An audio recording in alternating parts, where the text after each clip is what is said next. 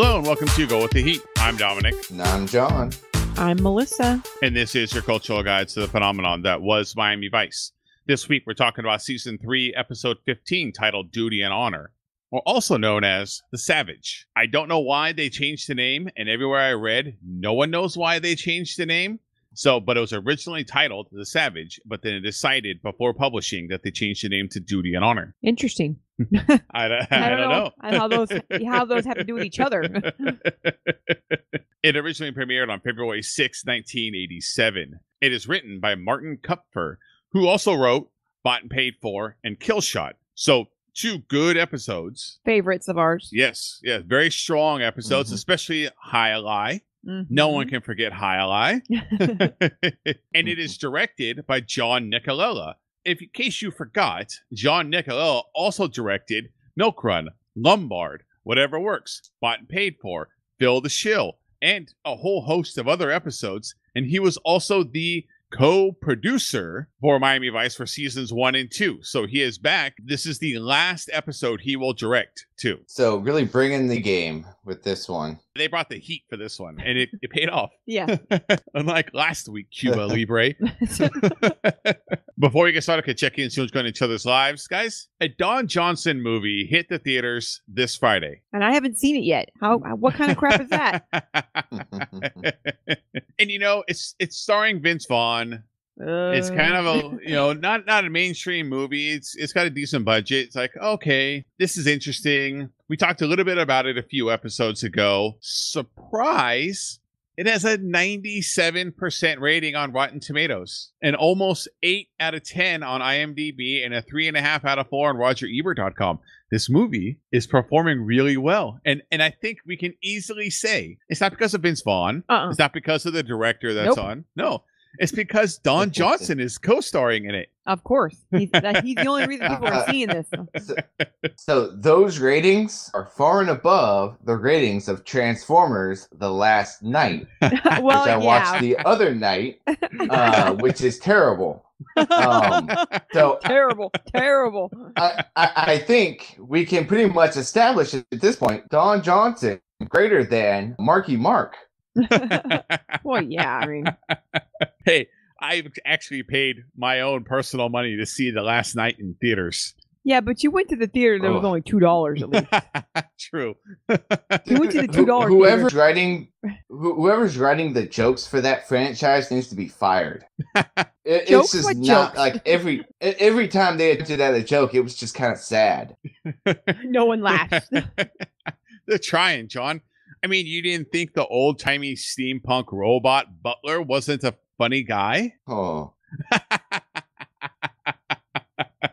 we don't have enough time to get into this, so let's get into the the episode. Speaking of things that aren't funny, this is a very serious episode from Miami Vice. And you know what? A really, really good episode, too. So let's go talk about this one because we start off so strong. I cannot wait to talk about how we open in this. Let's go talk about this episode. Okay, so I've I've waited. We watched this earlier in the week. We opened this episode in Saigon, 1972. I cannot wait to talk about this. It's night on the town for the GIs. They're out pi picking up hookers. Yeah, up pulls a jeep, and someone gets out, and they have a ponytail, and it's like, holy crap, that is Castillo with a ponytail and no mustache. It is a sweet ponytail too. I mean, like he looks total badass, old school action hero ponytail. well, Melissa, you got a point too. That it means he must have had to shave his mustache off. So does that mean that Marty wears a prosthetic mustache? oh my god. it's not his real mustache. No, I've seen James Earl Jones's mustache now. It's got to be Edward James Olmos.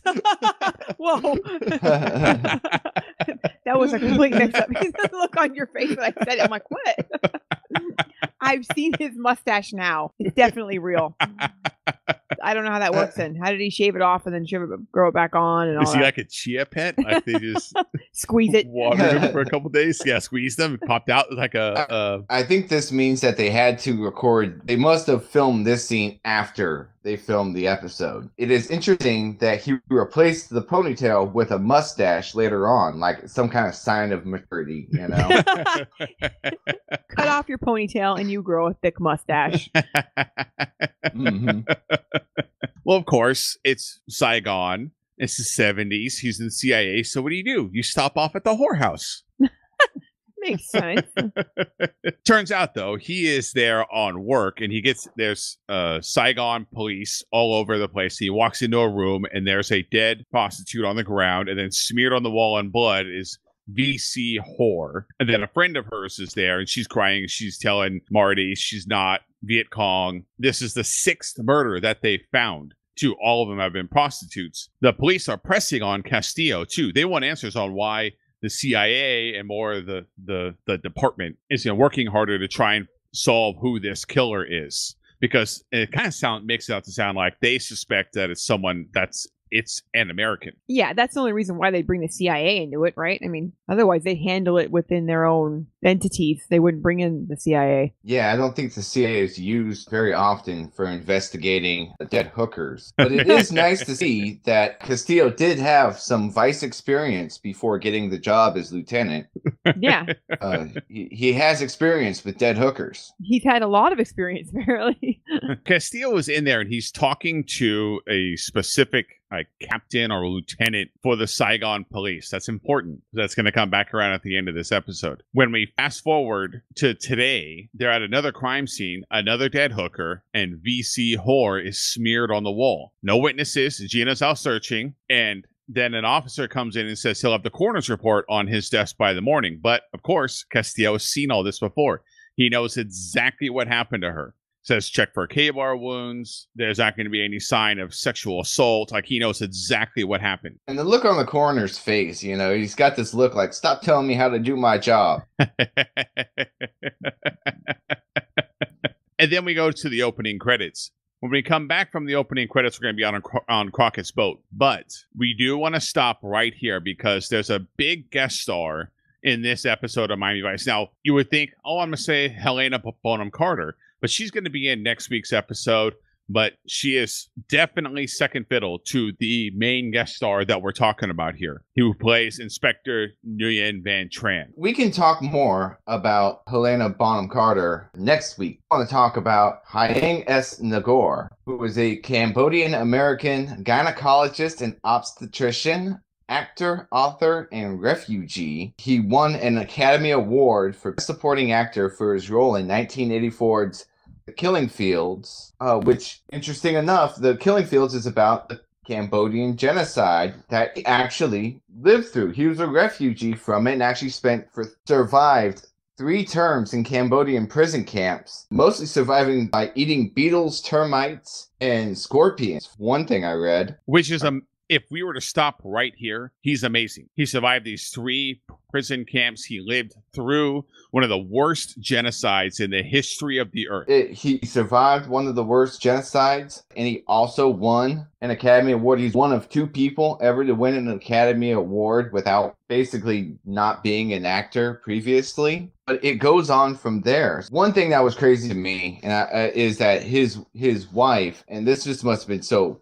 hard for him. During oh, his wife was in the refugee camps with him, and she actually died during childbirth while they were imprisoned. It must have been hard for him being an obstetrician, you know, knowing that it, he could save her. He escapes, basically crawl, crawls his way into a, a Red Cross camp across the Vietnamese border, comes to America, and he does the movie The Killing Fields. He continues acting and writes, writes a book about his experiences in Cambodia. And then in 1996, tragically, he was shot outside of his home in, in Chinatown, downtown LA, by three members of the quote Oriental Lazy Boys street gang. It's been claimed that he, he was shot during a robbery gone wrong when he wouldn't give up a locket with a picture of his wife in it.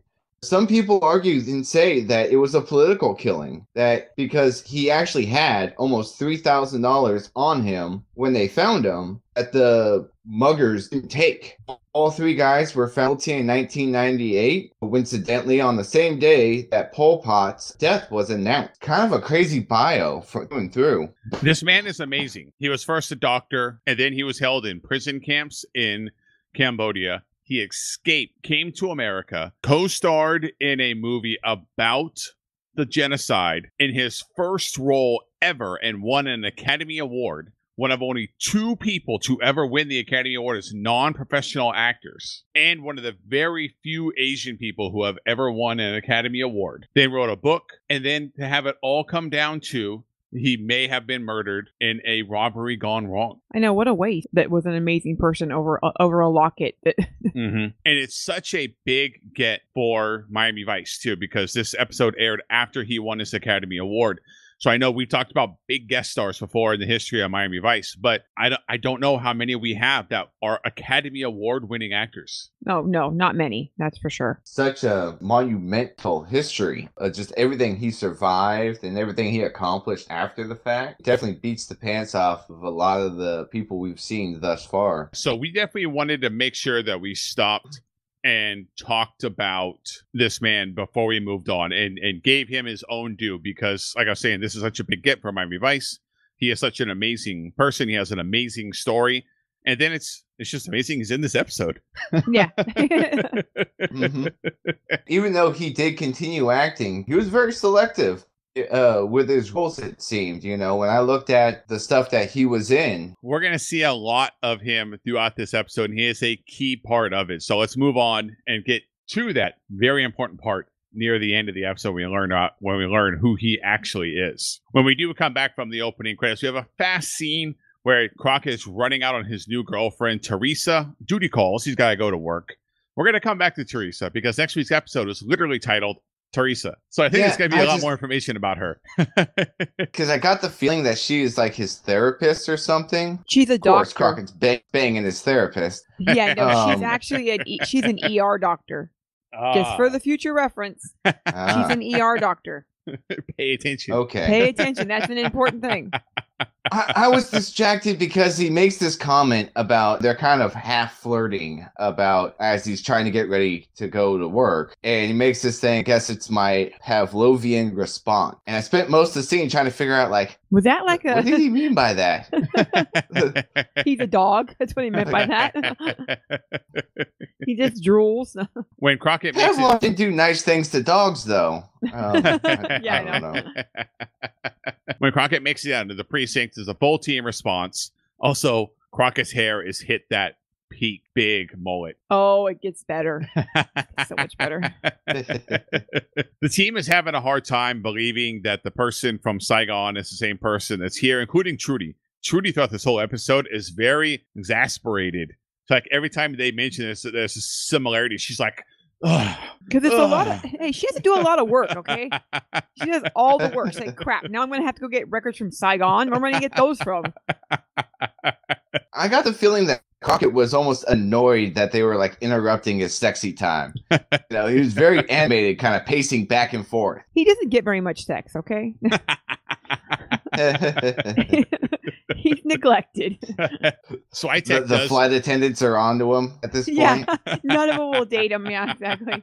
Switek does pop in and say Castillo is right. The murder weapon was a Ka-Bar. So the next morning, Castillo's out at this site and he's meeting with a man who represents Sen- Senor Espinosa. And they're telling the Miami PD, like, this is where we are going to have our speech. This is where we want things to be protected. The head of security is there. He's saying all of these things. They step off to, to the side, and Castillo talks to the police captain. He says he wants his people taken off of the Espinosa assignment, and he wants them to be dedicated just on the hooker killings. And the captain's like, eh, all right, cool. Yeah, we don't need you anyway. Down at the VA hospital, that's where the duo are hanging out. And they're over there talking to Dr. Morris. And Dr. Morris is very clearly saying, I will not let you talk to any of my people without a court order. Now get out and don't let the door hit you in the ass. a doctor protecting their yeah. patients? Crazy. this scene is pretty much comes down to doctor patient confidentiality and Tubbs and Crockett having to get banged over the head to understand this concept. well, Crockett kind of says he's like, he calls Castillo. because Castillo's like, I'll get you the court order. And Crockett's like, I feel bad about doing this. And Tubbs is like, I don't know what the problem is. I don't care about these vets. He's like, whatever. Like, get the court order. Let's talk to him. yeah. We got a uh-huh. job to do. they do a head out. They go then talk to a cabbie who called about a tip that they saw a man inside of the abandoned building, I think, where the hooker was found in modern day, not the Saigon hooker, obviously. He's traveled far. the duo walks into the building and they find a man in there, Nguyen Van Trahn from the Singapore. They don't. They, they the don't s- walk into the building. They they go in there guns blonde because they take that police tape seriously in Miami. well, Trahn, you will recognize from the opening that he was from the Saigon police. So now things are getting really interesting. The duo start saying they're going to arrest him. He's like, I just want to talk to your boss. Yeah, I'm starting to feel like I've seen this movie before. Back at the precinct, Switek is telling Castillo that they arrested Trahn, and Castillo immediately knows who he is. So we just have this confirmation. Yeah, they know each other. It's, it's who he's supposed to be. It's Mhm. okay. We get this scene where their Crockett and Tubbs are interrogating him. Castillo shows up in the dark. Hey, buddy. Hey, pal. You know, long time no see. yeah, I know. It's like You don't ride a call anymore. You know, they hold hands for a few minutes. I mean, how how well did they really know each other back then? They didn't act like they knew each other that well. Key point. They act like they really know each other really well. That don't though. Also, he didn't age any. Can we talk about that? yeah, looks- neither of them Yeah. aged. Well, I mean, the, the mustache Well- and ponytail aged, but but not yeah, how, that's what I was gonna say. Like, how does Trahn not make comment like, "Hey, man, where's the ponytail? What's this? What's him. this crap on your face?" That's not him. The man I knew had a mu- had no mustache and a ponytail, and he wore speedos. then they decide to turn this meeting into a real meeting and head out of the interrogation room and over to the regular meeting room. And this is when Castillo says that they found six murders in nine days in Saigon. Trahn also says that they found more murders in Thailand. Same thing over nine days. So now, full court press. This is clearly the same person. Trahn showed up because he recognizes the same person too. And this always happens in a very small window of just nine days. So 12 hour shifts. Don't uh, underestimate him. All hands on deck. And Crockett makes a uh, very brilliant deduction. This is probably not his first rodeo. He didn't just stop after, oh, what, nine years or whatever. That's when uh, I think they put Trudy on it, where she's, she goes, they go hunting for the murders that they don't know about. Yeah, she's got to call like every police department around the entire globe and find out if there's been a connection between these murders where there's these prostitutes being killed in a narrow window like this. Okay, but how did Trahn hear Mhm. about it? How did he know about the killing? Good question. I mean, I have to know. Like, he's supposed to be. He was living far, far away. I mean, do they report it on their local news that something happened in Miami, Florida, the United States? I don't get it. So we jump to this hotel, and there's a man just staring in the mirror, and he's got this giant knife, and he's like, is he putting it in like a sword sheath over his shoulder or something? He's very angry and insane looking as he does this. And awkward, and uh, And he confirms that by going downstairs, he turns in his keys to the front desk and then grabs and assaults the woman behind the counter, tells her she watches too much TV. well, she does watch a lot of TV though. that lady, by the way, is Judith Malina. Uh, she played the grandmother in the movie The Addams Family, but she was also in some other pretty big movies, Dog Day Afternoon, and China Girl, to name a few. What I find interesting about her is her first husband, Julian Beck, her and Beck founded a group called the Living Theater in 1947. Believe it or not, it's still open today. wow. Uh, it almost closed in 1963 due to tax issues, and Beck and Malina actually left the country in 68 to avoid it. Eventually, they got it worked out. They returned back to the States and split the group up into three parts. Part of the group moved to India to follow the Bollywood scene. The other, another part of the group moved to London for uh, some stage scene or something they had there, and they went with a part of the group to Brazil, where they basically just up and moved to, and they had a rather unconventional conventional marriage. Beck had a male partner that he used to trot around with, and Malina had several men that she would. you get him. so yeah, You get him. yeah. Beck died in 1985 from cancer, and she would eventually marry one of the group members, Hanon Reznikov. There's a lot more to that story to unpack. There is, there is. So I, I, I just love that her husband had a boyfriend, and she had multiple boyfriends. It's like, like, fine, you want to oh, go, have one? You I wanna have one? two. Yeah. Back at the VA, the duo are accosting more war wounded warriors. and the doctor is not happy, but they start doing the interview. And this is where we get our Miami Vice montage of the man that we saw that was looking at himself in the mirror. He's out doing it, doing interviews for hookers, and the duo are doing interviews with wounded soldiers. Interviews. That's a, that's one way to put it. Uh, the one thing I was curious about this episode is like, at no point did they ever warn the hookers that you know there's a serial murderer walking the streets. I thought that too. Crockett has a good It's relationship a- with them too. Yeah, I mean, like if this was Criminal Yeah. Minds, they'd be out there on the street telling them, like, "Hey, you know, uh, you might want to stay in for the next couple days. It's only nine days. Like, stay in for those these next nine days." Just saying. Eventually, the man settles on a hooker. We find we had found out earlier that he's into women with black hair, so he gets himself a black-haired woman. And the montage ends with him murdering her and smearing her blood on the wall. now stop. If pretty sure fingerprinting has been around for for a time. I'm pretty sure when you join like a government agency, they fingerprint you. Yes. Something tells me there's a way to connect the dots at this case a lot quicker than they do. Yeah, but there's also the key to that, right? Is that we can't give away too much, right? But the, the key is that they already know, right? And they keep getting away with it for a reason. All right, back to hooker slaying. nice segue, John.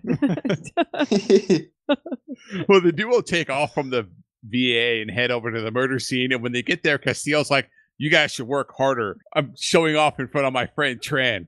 What are Truly, you guys boy, they, boy, do they become friends throughout this episode. I'm going to talk about that a little later. palling around. At the precinct, and we mentioned this before, Trudy is amazing. Trudy has found evidence all over the world to pin on a serial killer. And no department ever came up with a single lead, but Trudy was able to put all of them together. Yes, She's he's one been murdering cop. his way across Asia for nine years, and no one's ever put it together. Took Trudy like two days, hours, like six hours. She's got it already, and th- she's using like a typewriter. It's not even a computer. She's using a phone and a typewriter Uh-huh. typing it up. She even stopped halfway through the, so that she could look up to see what a K bar was. yeah, exactly. She's even more amazing than this, too, because Castillo and Trahn look through the papers, they tie the dates to of one of the prostitution murder stretches to an assassination that was done by the CIA. So the killer might be an assassin. So then Castillo turns to Trudy and is like, talk to the State Department and find out about assassinations around the dates of the last murders in each country. She's like, "Are you kidding me? I was just on the phone with these countries. Weren't you in the CIA? Don't you have connections that you could call?" Which he does, That's and he uses insane. later. Yeah. So he just wanted to make Trudy do all this legwork for nothing. But all it would take is one phone call, and you'd be like, "Oh, okay, now I know the information." Ah, not necessarily. We find out when we meet his CIA connection. He, they're not on the best of terms. Well, true, because that guy's a jerk off. but he's also not working for the CIA anymore either. Yeah. Like he's out too. Just real fast Oh. at the VA, there's the the duo are questioning the vets even more. It's going horribly. We go back to the precinct, and Trudy has found the link from Interpol that there's an assassination happened for all of them except for one in Brussels. Jesus Christ, Trudy! I feel like they should have just waited at the station, right? Like waited for her to do her job, and then like don't go back and harass these poor veterans that have nothing to do with it. Hang out, have some Uh-huh. coffee. She'll figure it out. Like give her give her a couple hours. So, so pretty much, yeah, pretty much, he's assassinated people in every spot, and then he vacationed in Copenhagen. I can't kill in Copenhagen. They're all blondes. There's no dark haired women. Trahn says, I'm gonna come back with answers and like heads down to the basement. I thought he was leaving, like he was going somewhere, but he just goes down to like the basement into the archives and he starts looking through old papers. Like, well, how does he know they're down there? I don't know. What is going on? Spe- speaking of another amazing person, yeah. And he's found evidence that an attaché died in his sleep in Copenhagen. And so now they have a link. 'cause I said Brussels, but you're, you're right, John. It's Copenhagen. So now they have links to all of them having assassinations. There was just one that wasn't actually listed as an assassination. Yeah, because they didn't know it was a it was a secret death. and this is something that was, we find out later was Savage, who's the who, who's our bad guy here. And we find out later is that he killed so many people when he was working for the CIA uh, and they were fighting against the Viet Cong. He killed a lot of them in their sleep. That's kind of his specialty. That's his like calling card, Mhm. Other than the horror writing on. and there's that. But So, so now we jump to the streets. Duo have Street. given up harassing have given up harassing veterans and when i'm watching this scene and they're hanging out with the hookers and they're trying and crockett just starts zeroing in on the savage who's going around like trying to pick up a prostitute just starts zeroing in and my first thought was man he's an astute investigator then my second thought was or he's just a racist I know. Yeah, because he was the only guy that was a minority. He And- zeroed in on him right away. I, I guess he'd be suspicious in not many people pick up hookers by foot. True. I mean, what did they? Yes You want to walk back to the bus with me and then go to my room? Want to come meet me behind these dumpsters? yeah, I know. come on baby hop on handlebars he does zero in on him real fast, has instant suspicion, and then goes up like, "Hey, Judy, I think that's the murderer." Go, "Hey, Gina, I think that's the murderer. Go talk to him." I don't understand what he expected to get out of that, though. like, just sending Gina in harm's way. Also, Yeah. Also, he gives her a phrase in Vietnamese to tell him, and Gina has no idea what it means. And it's like some kind of thing that Crockett knows is gonna set him off. Say this because it'll piss him off. also, also, the wigs that the ladies are wearing are amazing. Hey, he likes girls with black hair. You have to get the stupidest black haired wig you can find. they must have got them at the Spirit Halloween store. I mean, it's the season. Tis the season. Yeah. They went and got the blackest, longest wigs that they could. I mean, it's it's comical. yeah. Like, he's in a woman with Uh, black hair. Okay, get me the blackest wig that goes It's down to my knees. It's like the Cousin Itt wig, right? Like, So Gina goes over there and tells him what Crockett told her to say. not he- right, though. They shouldn't pronounce it correctly, I don't think. and of course, Savage like flips out and she immediately says, Hey, pal, Miami Vice. And then he runs off and Crockett gets chased. And we have the, a chase montage. And Crockett is really struggling. And the assassin's like. Dude, my favorite part of this chase montage is that he, eventually it turns he Crockett runs and hops in the Ferrari and starts chasing the uh, Savage's car. And about halfway through the car chase, like a box or something falls in front of the Ferrari. And Crockett has to stop and move it out of the way and then get back in the Ferrari and continue the chase. Like he stops mid chase to avoid scratching his car. yeah, I can't scratch this car. Can you drive around it or doesn't technically own it. True. So True story. Shit. he's Technically, he's leasing it. leasing, so. Yeah. But he does get in his car at like the slowest pace too. He like very qu- very nicely closes the door and then lets him, to- lets him chase now.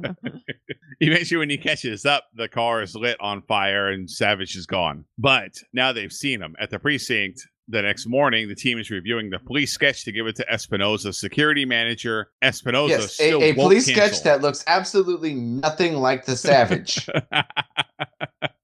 that is horrible. I don't know how they think this looks like him. Hey, it works pretty good. Everyone else they show it to recognizes him right away too. Yeah, I know him. So now we go back to the VA hospital and they finally have something. Luckily, at the Miami VA hospital, there's a member of every branch of government that has been involved with every type of operation Luckily. because they talked to a man who was part of the CIA pacification program known as Operation Phoenix. And this man, although he's in a lot of pain, he's willing to talk about the man they called Savage, who was the best killer on their team. He killed over 40 VC behind enemy lines. He last saw him in 1970. So this is when I said he was known for killing people in their sleep. This is when we find that out. Yep. Just don't laugh at his little wiener. Because the this man also tells a story about Savage that saying that he was attacked by a hooker in Nam who essentially cut his dick off. Essentially, it I think that's what this comes down to. That because he then went and recovered in Japan and then went back to Nam. yeah, yeah. It's basically he was mutilated and no, he was never the same after that. So, And that's why he kills hookers. well, I mean, you would kind of have a kind of have a personal I vendetta. mean, I Yeah, guess he might- does have kind of a gripe. I don't know. he holds a grudge. I mean, he can get over it already. you know. So that night at the docks, Castillo takes Trahn and they go meet someone named Felix Larson. He's ex CIA. Larson is a little intense, even for Castillo. More intense Yeah. than Castillo that can't be. You know? Well, Castillo's like, you know, how's the CIA treating you? His contacts like, F you, Marty. Like, I can't believe you're calling in this card. I can't believe I'm even talking to you. You're a disgrace. At the hotel, the woman behind the counter sees on TV the man, the police sketch That looks nothing like the. of the man that assaulted her. And then he walks in. So she turns the TV off. She plays it cool, gets him his keys. He goes up to his room. At the precinct, Castillo and Trahn just kind of hanging out. Like, Trahn's like laying on the sofa. They're just kind of chilling. Dude, and this is what I wanted to get to. So Lieutenant Castillo says, We're not getting anywhere right now. Why don't you go back to the house? Which stop. Trahn's crashing at his house? It- it- eh, just staying on his couch. He's got plenty of room. He's got that giant house. It's just him. He doesn't even have a dog. He just like Two rambles around there. pals bunking together, Yep, you know, old two friends. buds hanging out. I bet you Trahn has a speedo at his house, hanging up in his bathroom. I bet you it's there, right next to Marty. At the hotel, Savage sees himself on the news. And then the PD come, the Miami PD come in full force. They come in because they got a they got a tip from Harriet, the woman behind the counter, that he was there. So he just Savage just calmly goes downstairs, murders her, and takes off. By the time the Miami PD come there, they find Harriet dead behind the counter, and obviously no one else at the hotel. Essentially, Yeah. Poor clerk. Probably shouldn't have left a lot for him. so now we get some more information about Jack, and we've kind of like yada yada yada over this Espinosa thing because in the beginning, Castillo says he wants out, and there's a couple of scenes here and there where they're talking to Jack. He's the head of security for Espinosa, but now we're gonna go over to Jack's hotel room, and he's talking to Savage. He wants Savage to just do his job, but now there's problems. He's causing headaches. Jack tells Savage he's just a sick man. He needs to stop killing these hookers, and then Savage threatens Jack. He grabs him by the tie gets real close to his face and says, We've worked Yeah, together dude. a lot. Don't you ever say And, something like and that to me he again. goes, and, and then after that really awkward confrontation, Savage goes and lays down on the bed and takes a nap. Yeah, that was really They're- weird. They are also roomies, which is really weird that they're just hanging out in the hotel room uh, in the hotel together. Like he threatens him and then goes and takes a nap. And Jack's like, "Well, I guess I better get back to eating my burger." Uh, Jack, by the way, played by Brad Sullivan, who was also in the movies Slapshot, The Untouchables, The Abyss, and a movie called Dead Bang with Don Johnson. I'm really intrigued by that last movie because I don't know anything about it. I don't know anything about that movie either. That's and that's why I wanted to mention this because I didn't recognize it at all. And I was like, "Oh, look, Brad was in a movie with Don after Vice," and I was like, "Dead Bang." Like, why, why What the hell? Why does it sound like sort of? Why does it sort of sound like a porn? What were they doing? Oh my god, was he in porn? we have a real fast scene out at Lawson's boat, the ex CIA, where he tells Castillo and Trahn that Savage isn't CIA anymore. They got him killing hookers and the They company cut him. him loose. Like as of last week. yeah, they know? fired him.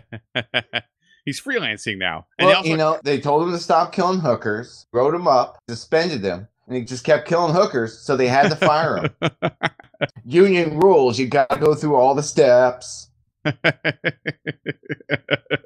well, they also cut loose his handler, a man named Jack Colman. Wonder where we heard that name before. so Sounds we head back to Jack's hotel, and Castillo and Trahn are having a very weird and relaxed conversation with Jack, where Jack's like, Yeah, I, I work with Savage. Yeah, he still kills people. He kills hookers sometimes too. What's the problem? We can't control him. Yeah. Which, by the way, Jack's staying at a noticeably nicer hotel than the Savage, so Savage moving Yeah. on now. So, but yeah, Colman almost looks bored in the conversation, and then at the end, you, can- I mean, uh, possibly drunk as well. It's like he has not a Yeah, care in the world. does not- He doesn't care. Which, if Castillo or Trahn were wearing a wire, they would have had all the evidence they need to arrest Jack. But instead, there's like Jack's like, "Hey, yeah, yeah, he's gonna kill Espinosa. It's probably too late already, too." And uh, yeah, I'm not gonna say sorry. You guys should have known this. It's on you. yeah, which, which kind of sucks for Espinosa. Miami PD has not even attempted to protect him up to this point. Uh, Well, they Um, don't protect many people. You have to be pretty special. Yeah, well, uh, so but they really didn't protect this guy, and Savage is re- uh, uh, in the very next scene gets really stabby with him. He's kind of cranky. Castillo asks about the hookers, and Jack says, "Who cares? Whatever happens." They're hookers. I just can't. I had a hard time paying attention to this scene because Jack kept calling Castillo Castillo. Yeah, Costello. Costello. Like, what? Trahn says he doesn't seem to be that upset about Espinosa canceling his speech, and the most VC were killed in their sleep. And Jack's like, eh. Eh, it's all right. he sits back, sips his cognac, chews on his cigar. Castillo gets up and tries to call Espinosa, but the line is dead. So he's like, hey, it's happening right now. We have to run off. So they head over to Espinosa's. And this is where we're going to be the second last scene of the episode. Out of Espinosa's, the dingus on security detail gets killed real fast. yeah, I don't even think he understood what he was supposed to be doing. He like just goes right out to the door. Doo doo doo. Savage starts heading upstairs. Trahn and Castillo are racing to the scene. At the precinct, the Musketeers are off to race out to Espinosa's hotel. But Trudy stops Crockett and says, Hey, that's not the real Trahn. The real Trahn was killed in the Tet Offensive in 1968. This is the real Trahn. And that's when the real shock of like, oh shit, who is Castillo actually working with then? And how come he doesn't recognize the real Trahn? well, that's because he actually never met the real Trahn. Remember, we opened up in Saigon in 72, whereas the real Trahn died in 68 in the Tet Offensive. So the guy Yeah. we met from the very beginning was never Trahn. He just claimed to be. Yeah, he just lied about his name. And this is where I have to admit I have a hard time figuring out which year is earlier than the other year. Because at first I was like, okay, so Trahn died like after he met. This one took his place. And then we started talking about the pre show. I'm like, oh, oh, 1968 is before 1972. Yes. Meanwhile, while all this is happening, Castillo is ninjaing off the roof at Espinosa's. yes. Dude, they really draw it out too, man. They like really slow walk their way through this guy's place. and it is really slow to the point where I thought they were filming in slow motion. They're slowly moving throughout the house. Trahn and Castillo kind of split up, and I'm starting to think now, okay, so Trahn is crooked. Castillo's a dead man. yeah, you think he's in trouble. Castillo turns a corner, and Savage is hiding behind. Slow mo does start, and Savage stabs Castillo. Trahn turns and shoots and kills Savage. Mysteriously, it didn't look like when he hmm. shot him, the bullets hit him. Well, Trahn is, is becoming more and more obvious is not an actual cop because took a few a few misses before you finally hit him. That's what I'm saying. Like it didn't look like it hit him at all. It looked fired over the top of him. Trahn then goes over to Castillo and says, "Uh, you'll be all right. You're good." How He did hears he sirens was gonna be okay. And he runs off. he goes, yeah, he's like bleeding, and he's Yeah. like, yeah, you'll be kid, you're good. Gonna sit around and wait. Sorry, I gotta go. You're good. Uh, I, I need to borrow this Ka-Bar sticking out of you. yeah, Snatch. and then he immediately heads over to Jack's hotel and kills Jack with Savage's knife. no one ever deserved to die. Which I will that tell guy. you that was that was somewhat surprising, yet just yet I think justified. no one batted an eye at that one. Um, the next scene is great because it starts off with Marty wearing short. Who wears I short know. shorts? Marty wears short shorts. Castillo, see, I was thinking like, Castillo's out there stepping on hermit crabs, feeding seagulls and acids. Um, you don't know that he has a way with the seagulls, okay? They're his only friends. He lives by the water, you know. Castillo don't care. He's up there hanging brain and he don't care.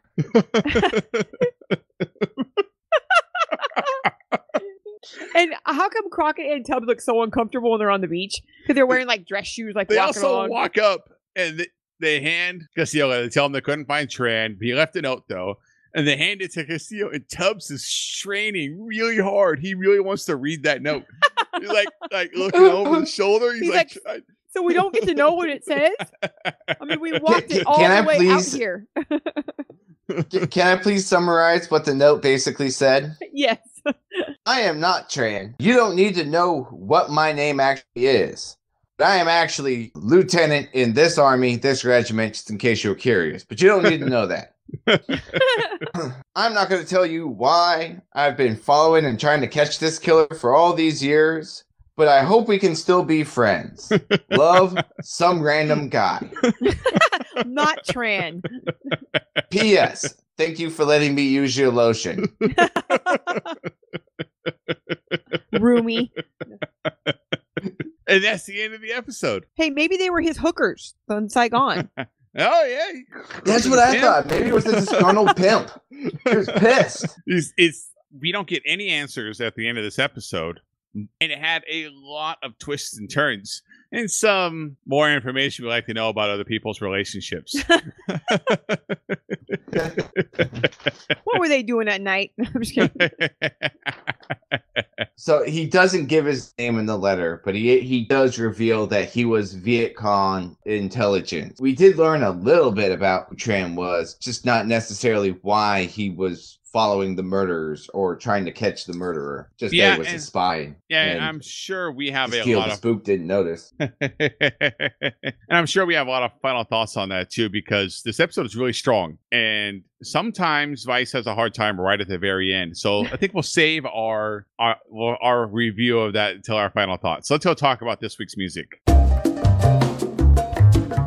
All right, John, we actually have a really deep music segment. Three really good bands, and one of them a really big name too. What do you got for us this week? So let me start off. We get anything by the damned. And if you remember, this is the Captain Sensible and Rat Scabies band we spoke about a little while back. I would love to talk more about a man named Rat Scabies, but he will return again this season, episode 22 in Vi- Viking Bikers from Hell. So I think Perfect. I'm going to wait and we're going to talk more about Captain Sensible and Rat Scabies then.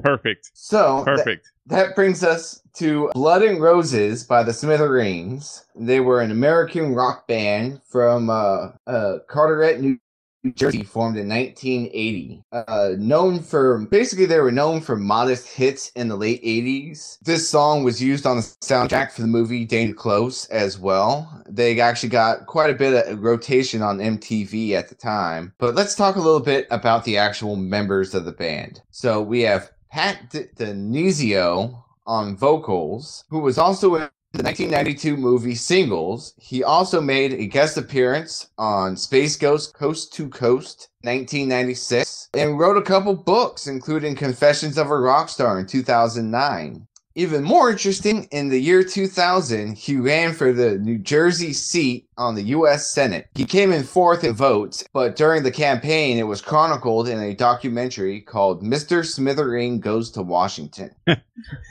I have a hard time imagining him run running for office thinking he had a chance seeing their haircuts that they had for their band in the music video I watched. The- also in the band, we have Jim Babjak on guitar. Babjak has contributed to movies such as, all right, I mean, he's basically other than being in the band, he com- he was a music composer for TV and movies as well. So he has contributed music, I, I guess, sort of in the sense that Jan Hammer contributes is a composer that style. Babjak contributed music to movies Bull Durham, Backdraft, Encino Man, Time Cop, Romy and Michelle's High School Wedding, Boys Don't Cry, Golden Kumar, and the list goes on and on. So Uh, dude was that is- busy. That is a great list, except for Encino Man. Pauly Shore movies should disappear from the face of the earth forever. Hey, You like how I threw that one in?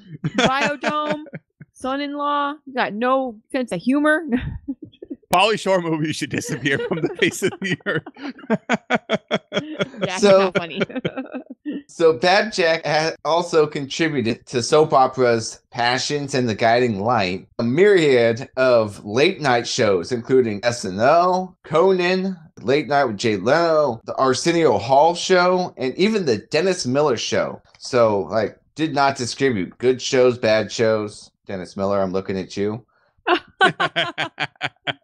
When he was not performing, he had a day job at a bank. On top of contributing music to all those things, he also worked a day job as a manager at a bank. Being a rock star pays decent. Uh, con- being a composer pays not so well. we also have Mike Mesaros on bass, and he's a career musician. Dennis Diken on drums, and Dennis is a fill-in DJ on WFMU in New Jersey. He was also in that episode of Space Ghost, and he's still rocking playing the drums. We're going to move on to our last band, and probably the biggest band of the episode, Jefferson Airplane, with their song White Rabbit. Formed in 1965 in San Francisco, they were kind of famous for that kind of hippie kind of sound. Played early with a lot of musicians like Jerry Garcia. The Jefferson Airplane started in 65 when Marty Balin, an old pizza parlor on Fillmore Street, and turned it into a music club. And they began recruiting band members. Lots of band members. Throughout their journey, there would be a total of 14 of them. Their biggest hits were the songs White Rabbit and Somebody to Love. Let's get a little bit. So we're going to work through a little bit of a history here. In November 65, they signed with RCA Victor, getting a then unheard of advance of $25,000. Later in 65, Grace Slick would replace Signe Anderson on vocals after Signe Anderson would leave after giving birth to her daughter in 66. And Grace Slick, dude, she was a rock star. Boy, was she a rock star. So, first of all, Slicks uh, was actually in a band that was opening up for Jefferson Airplane at the time called The Great Society. And she actually wrote the song White Rabbit while she was in The Great Society. And then her brother-in-law, Loud Darby, helped her write Somebody to Love. I mean, their two biggest hits were written, and both were written while they were in the band, The Great Society. I also like that they got an advance of an unheard of twenty-five thousand dollars. That sounds like just enough money to plan to plan the biggest heist of David Bowie equipment ever. yes. yes. So they actually recorded the song White Rabbit with the Great Society, produced by Sylvester Stewart, who would eventually become Sly Stone. Damn. So it reportedly took 50 takes to achieve sat- his to live up to his satisfaction. Their biggest hit comes from this other band, produced by this hugely famous guy, and Slick bought out of her contract with the Great Society for $750. Not much. Whoops. Yes. yes. So after she was bought out of her contract, the Great Society broke up in late 66. As we continue on, in 68, their ego started to get big. They started to get into the psychedelic rock, but I mean, they were killing it. The whole time, every album that they released was in the uh, top 50. In 68 is when their ego started to get a little bit of the best of them. They went on the Smothers Brothers Comedy Hour, and things got a little, little heated uh, when Grace Slick appeared in blackface and gave the Black Panthers salute after their performance. Wow. She said afterwards that she said afterwards that she just wanted to wear all the makeup in the dressing room It wasn't intending on being in blackface. But yeah, come on, guys. Wow. So then, in 1969, while Slick was recovering from uh, throat surgery, several band members created the band Hot Tuna, which will be important in a minute. Also, I love the name of a band, Hot. Um, so once Slick would cover, she would go on to the Dick Cavett show where they would drop the F bomb. And actually, all throughout 69, the album they let go, which was full of F and MFers.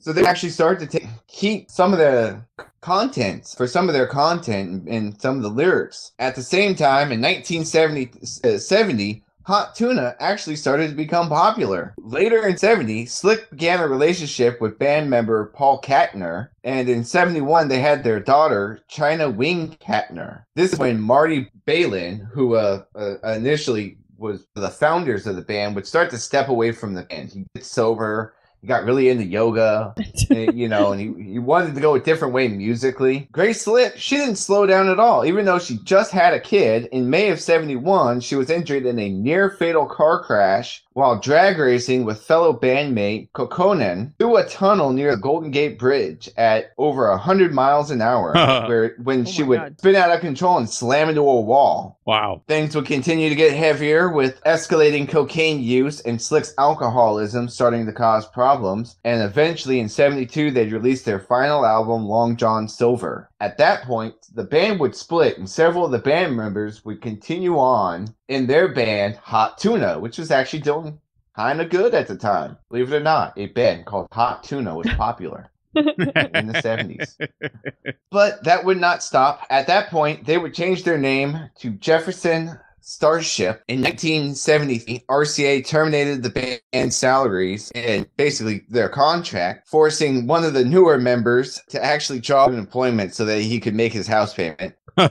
So- Jefferson Starship would start promptly in uh, 1974, and they would rock on until the uh, 1985, and then eventually return in the 90s with Kantner-led revival. But during Starship, they actually had several hits during that time, from 74 to 85. Their two biggest hits being "Fooled Around and Fell in Love" and "We Built This City." Obviously, two very different ends of the spectrum, and immediately I think of Guardians of the Galaxy 2 with Fool Around and Fall in Love because that song is in it, you know, and it's all poppy. And then as soon as I see We Built This City, the first thing I think of is The Simpsons with Homer on spring break singing, We built this city for rock and roll. so, So- so, I in this week in Vice, I've talked about Starship and we built this city, and I I bagged on them pretty hard then. And you would think this would be my, my opportunity to say because I'm going to have to mention them again because they're going to have another n- number one hit with "Nothing's Going to Stop Us Now" in 1987. You would think I say, you know,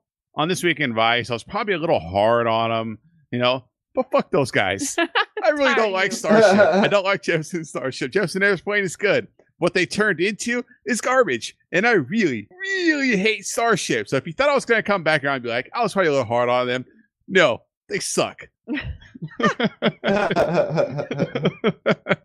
the way, Starship, the Kantner-led, still touring. So if you want to go see the see them, obviously, uh, I'm gonna go tell him he sucks in not want person. to. Go to a fair. Yes. They're at some fair, county fair, carnival. They're there. By the way, Grace Slick, just she's a hero. I mean, God, she was so rock and roll. I mean, in drag racing, and, and car crashes, and cocaine, and Jesus. At least someone does something cool in the band that eventually becomes Starship. Lame asses. Well, see, well, music took a turn, but not from the person you were probably expecting. Yeah, exactly. Let's go give our final thoughts on this episode. All right, Melissa. This is a Castillo episode. Castillo. This is a Castillo Castillo. episode. You are normally the biggest fan of Castillo. what are your final thoughts on this episode? well, I love this episode, and because of the no mustache and ponytail right out the gate. Okay, right out the gate, you know you're going to see something good. I I love Castillo's character, and I love anything that that gives you a glimpse into like why he's the way he is. He's like a mystery, right? He's in a mystery, wrapped in enigma. Wrapped. No, I'm just kidding. He's he's a mystery. Like you don't know, you don't understand his emotion if he has emotions, if he's human, or what he's gone through. And I love that they give him a little bit more story, and he's back to being his normal. He's there, but he's you know he he actually cares about the people that are working with him. I like. I mean, and I, the, obviously they chose the right person to play Trahn, an accomplished, you know, an Academy Award winning actor. You couldn't get better than that. So I like it. I don't like. I mean, obviously, I don't like that he's killing hookers. That disturbs me. And that the government's letting him do it just because he's a murderer. Like that's that's even worse. He's a double murderer. so I like it. Uh, obviously, it was lacking Switek, and it's like it's going to be that way for a while. I think. I think because it's they're trying to figure out where he fits in here and there and stuff. And Trudy was kind of a snooty in this one. she didn't want to put in all that work she put in, but she got it done. solves the whole thing just from her desk. I know she doesn't even need them. They why they Yeah. why don't they let her execute like the arrests or anything though?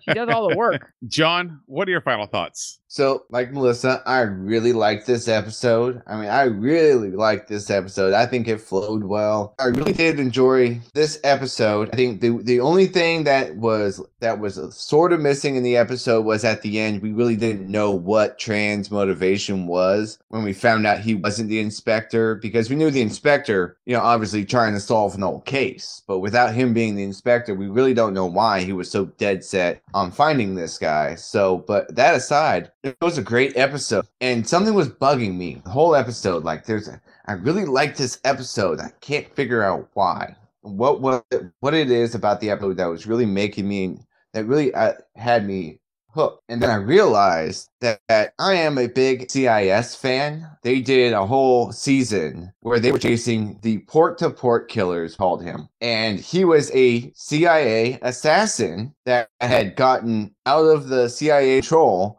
and had begun murdering people. Now, he wasn't murdering prostitutes like the Savage, but you could see where NCIS kind of kind of took some of this episode and used it as motivation for that what they were doing that season. And I think that's one of the reasons why I enjoyed it was as much as I did because it was like I, I could recognize NCIS, you know, way in the future is paying homage to an episode of Miami Vice that they really liked uh, enough that they drew it out for a whole season. A very similar character to the Savage. Yeah, and you know, I'm agree with you guys is that I really did enjoy this episode and I knew I was gonna enjoy it. And so I saw the mustacheless Castillo in the very beginning. But through and through, as with all Castillo episodes, we are going to get a storyline like nothing else that the show has ever done before, because that's reserved explicitly for Castillo episodes. It was going to be something really messed up, and there's a chance in these where things are going to go really sideways, which is Castillo gets stabbed again. Again. So, eh, spoiler alert: this is the last time he will be stabbed, though. he finally learned his lesson. No more stabbings for Marty. He's had enough of them. but this is a really good episode. I'm kind of disappointed at the very end we don't find out what Trahn is like, what his real motivations were. But overall, the the episode really does a good job. The storyline is really good. We have some of our classic Vice writers and directors that are on board for this, so there's no coincidence that we were gonna like this episode being Castillo centric and then being some of the season one and season two staff. So uh, I'm not surprised that we ended up really enjoying this episode, and I will agree with that. It's kind of we've kind of fallen into this trap where we don't have a lot of Tubbs, we don't have a lot of Switek. So I, I I want them to come back. That'd be cool. And we're gonna get a Crockett personal story next week. And then following that, you will get a wonderful, wonderful episode. It's all Tubbs. There's Okay. no Crockett. All right, we're coming back then. It's an amazing episode. And I mean that in the worst way possible. Yes. Think Tubbs trapped on an island. and people are trying to kill him. Perfect. T- tell me Yeah. he has an accent. Is he stuck on Jamaica? He's it's definitely yeah, I don't know. That, but they even gave him a love interest. T- tell me he's got to. Oh no! Tell me he has to use like a French accent. Tell me it's somewhere like. Scottish. It's a Yeah. Scottish accent. Just to close out, like I really did like this episode, and we're kind of bouncing back from Cuba Libre. I'm looking at you. Although Starship worked its way into this episode, that makes me angry. Me no likey that.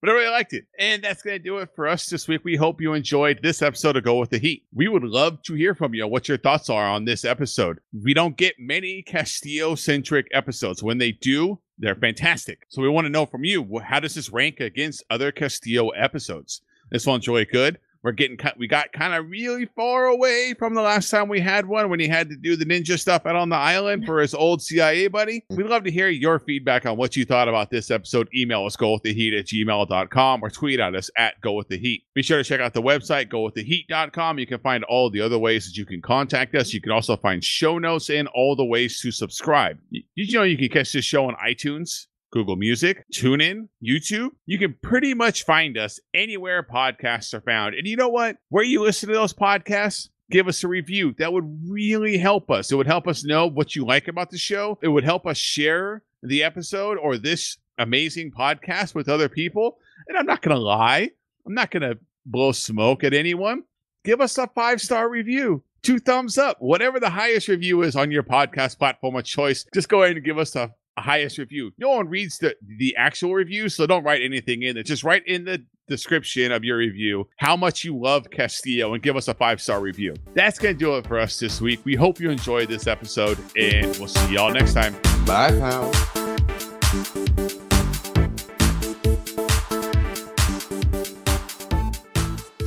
Around and fell in love.